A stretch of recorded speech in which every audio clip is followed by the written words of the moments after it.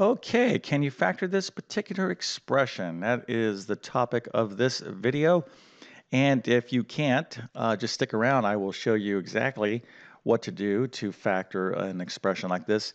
It's absolutely critical that you know how to factor, especially if you're taking any course from, let's say, algebra or more advanced. Okay, factoring is just, it's probably one of the most critical skills. And you know, all the math skills you learn are critical, but boy, if I had to put an extra emphasis on anything, just knowing how to factor is probably would be at the top of the list for sure.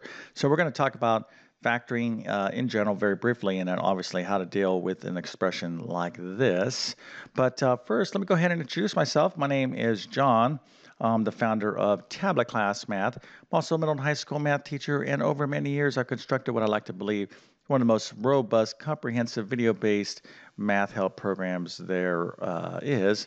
I'm going to leave a link to my math help program uh, in the description of this video. I have several different courses you could take from me directly, all video-based, extremely comprehensive, full lessons, and I solve thousands of problems with video-based solutions.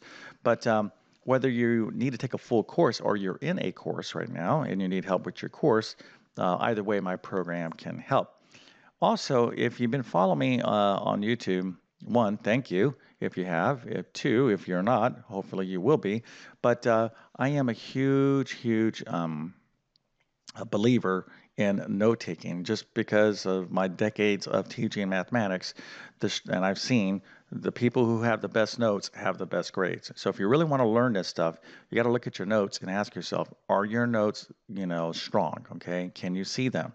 Would you be proud to let somebody use your notes? Can somebody learn math by reading your notes? Your your notes, you need to have the highest standards for your notes. Now, a lot of people struggle with note taking, and uh, I did for sure. It's a skill that you need to uh, work on and get better at. But in the meantime, if you don't have strong notes, you certainly need notes. You need notes to study from.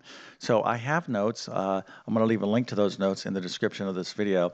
Uh, that would include pre-algebra. Okay, these are very comprehensive notes, by the way, too. Uh, so pre-algebra, algebra 1, uh, geometry, algebra 2, trigonometry for now. So if you don't have any notes or you're struggling with note taking, you can pick up a pair of notes and then check out some of my YouTube videos on note taking. Okay, so let's get into this problem. So the first thing is, what do you think this is? What are we dealing with? Okay. Well, in algebra, uh, we would classify this expression as a polynomial. Okay. So typically, uh, most of the expressions that you uh, that we uh, focus on, you know, factoring in algebra in the beginning are polynomials. Okay. So things like, let's say, 2x plus 10. Okay. If I said factor that, you hopefully you'll be like, oh, I can factor that. I can factor out the greatest common factor. That would be 2x plus 5. And that would be excellent, right? So looking at this, I'm like, oh, that's the greatest common factor. But x to the fourth minus 81, I'm like, yeah, yeah, there is no common factor. But is, you know, that means what? I can't factor this? No, that's not the case. You can factor this, but you need to know some rules, okay? So part of factoring, when you learn how to factor like the greatest common factor is some rules. So let's just quickly go through this here. We're going to talk about this guy here in a second. But what are the, some of the rules of factoring? Okay, so kind of the factoring universe. Well, the first one is the greatest common factor. You got to know how to deal with the greatest common factor. I just gave you an example, something like this, 2x plus 10. Got to know, hey, okay, I can factor out the 2 like so. So in factoring, um, you got to uh, always look for opportunities to factor out the greatest common factor. Okay.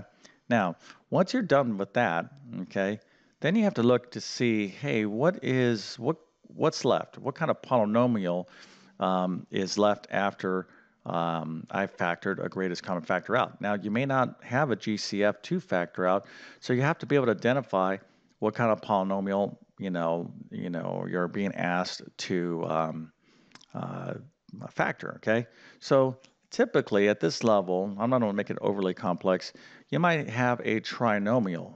Okay, trinomial, something like say this: x squared minus 6x plus oh, I don't know, eight.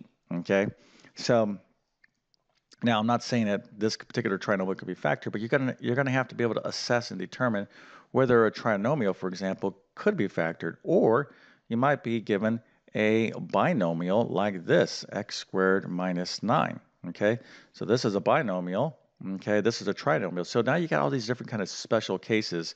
So that you get, you know, first of all, you have to learn how to deal with the GCF. Then you're going to say, okay, what what's left? You know, because we want to look at the factors of what I was able to factor if I could factor out a GCF. So you really um, have to develop the skills of uh, working with trinomials, and then all these kind of special cases. Okay, so special case scenarios would include something like this. Okay, and this is what we're going to be using in this particular problem. And this is an example of the difference of two squares. Now, there's other special case rules that you need to know. So this whole collective universe of factoring polynomials, okay, uh, GCF, trinomials, special case rules, you got to know all of this and look for opportunities when you're faced with something because you're going to be given a problem and you're going to say simplify, you know, whatever this might be, and it's not going to say, oh, use the use this is a trinomial, do this. You know, you're going to have to have all these skills. But let's take a look at the difference of two squares and how we can apply it in a problem like this. Now, if you know this rule and you're like, oh, okay, I can, you know, I know how to do this problem, being that now you see it's a difference of two square situation. But let's just go ahead, uh, if you want to try it, pause the video and go ahead and do it. But a squared minus b squared is equal to a plus b times a minus b. That's the rule. Okay, let's see, look at a, real easy example. So how about we had um, uh, x squared minus 4. Okay, now first glance, obviously there's no GCF here, but what am I looking at? It's the difference of two squares. So it's 1 squared minus another squared. So here I have, obviously, x squared is a square of x, and 4 is the square of 2, okay? So when you're looking at these perfect squares, you can kind of thinking like think of it like this, okay? 4, oh, that's 2 squared. So you have a difference of 2 squared. Now I'm just going to go ahead and follow the pattern. So it's going to be a plus b, okay? This would be my a, and this would be my b, okay? 2, right? x would be a, and 2 would be b, so this would be x plus 2 all right, times what? A minus B or X minus 2. Okay, now if you use the FOIL um, uh, procedure to go back and multiply, you'll get back to this as your final answer. Okay, so this is the difference of 2 squared. This comes up very, very frequently in uh, factoring. So if you um, aren't familiar with it, well, now you are. Okay, this is definitely one of those rules that you have to commit to your memory. I would say the factoring rules, there are some special cases like difference of uh, 2 cubed and, and whatnot. Uh, those are those are good and you need to know this, but this guy right here, the difference of 2 squared, this comes up all the time. Okay, so commit this to memory for sure. So this is just an illustration of how it works. Okay, all right, so hopefully you knew that. And if you, do, if you didn't, now you do. So we're going to use this rule here, okay? But now we're going to have to do a little bit of algebraic uh, manipulation, if you will. Okay, I hate to use that word. We're not trying to manipulate anybody, but we're going to have to kind of like mess around with this problem so uh, we can kind of use this format. So I have x to the fourth and um, uh, 81, right? So I'm thinking, okay, well, how can I, you know, use a difference of two squares? I have the fourth here.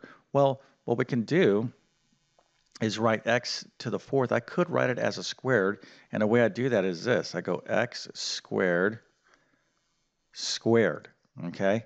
So x squared is acting as my x, okay, if you will, all right? So this thing here is being squared because x squared squared is x to the fourth, right? So just as a quick reminder, okay, whatever this little outside exponent, if I multiply this, it's going to be x to the fourth, okay? All right, so now I'm thinking, boy, I would like to have this 81 as a squared as well. And I'm thinking, oh, yeah, well, that's pretty easy. That's just going to be 9 squared. Okay, so at this point, and we're like, oh, we got some good stuff going on here, right? So 9 squared, x squared squared. So this guy is acting as my a, and 9 is acting as my b, okay? So let's go ahead and write this uh, out. So a plus b is going to be not just x, it's going to be x squared. That's my a, okay? So my a is x squared, and my b is 9, okay? So this is going to be, my a plus b is going to be x squared plus 9, okay, times x squared, right, this is, I'm doing this part now, minus 9, all right, and that's it. But not quite, not quite, okay? So you might say, boy, you know, I thought we're done. We almost are done, okay? Here's the deal with factoring. Uh, it's very uh, frequently the case that once you apply a rule in factoring, you need to uh, look to see if you can factor the factors. Okay, so here, let's say we're going to factor something and oh, we're able to factor something into two things, boop. You have to look at these factors and be like, hey, can I factor uh, this factor or this factor or both factors into uh, something else? That's very often the case. Okay, so you have to look for opportunities that we can continue to factor. So, you know, let's look at these factors x squared plus 9. No, I cannot factor that anymore, okay? But I have x squared minus 9. Hmm, hey, isn't that a difference of 2 squared? It, it definitely is, okay? So our final answer is going to be x squared plus 9. We'll just write that here, x squared plus 9. But x squared minus 9, if I follow this rule again, it's going to be x plus 3, right? Because we're dealing with x squared minus 9 squared, which is 3 squared, right? Times x minus 3. And this would be my final answer. Okay? All right, so just a real quick uh, uh, overview of factoring and how you know you need to know these rules and sometimes the what you're trying to factor isn't going to fit in nice and neatly into the rule but if you kind of can manipulate things around okay, uh, using some substitution. Of course, this requires you to know like properties of exponents and all the different things that you've learned previously to when you studied factors, okay? So again, math is cumulative, right? Uh, there is no, you know, particular chapter or skill that you're learning that you won't need in the future, okay? Um, that's why you need to go have, you know, just to be a stickler again, good notes because let's say you're like, oh, how do I deal with the exponents again? guess what? You flip back to your exponents section, you look at some examples, you're like, oh, okay, that's it. Or I forgot how to deal with positive and negative numbers. You flip back in your notes and you look, okay? Your notes are, you know, kind of your active, you know, reference sheet, okay? And they got to be really nice and neat and organized so you can actually use them. It's not just a process. And a lot of uh, teachers, too, um, use notes, the quality of your notes, uh, in terms of your final grade as well. So if note taking, if you're in a class and you're and you're, you know part of your you know final uh, grade is going to be let's say test, okay, is going to count for some percentage, and then your quizzes and then your homework. Oftentimes your notes, teachers will give you I don't know five ten percent on top of the final exam. Why would they incentivize your notes? Because they know how important note taking is. Okay, so this is just a little bit of uh, a look into the big world of factoring. There's, of course, other things you need to uh, study uh, with factoring. Now, uh, let me go ahead and, and, emphasize something. None of this is going to stick unless you practice factoring. So, um, how do you do that? Well, of course, you have your own homework and whatnot you need to be doing if you're taking a math class. But I also have um, a lot of other videos on my channel about factoring. You can check those out. And um, again, you know, if you don't practice this stuff, it's not going to stick. But factoring is critical. Definitely got to know how to do it. Okay, so with that being said, I definitely wish you all the best in your mathematics adventures. Thank you for your time and have a great day.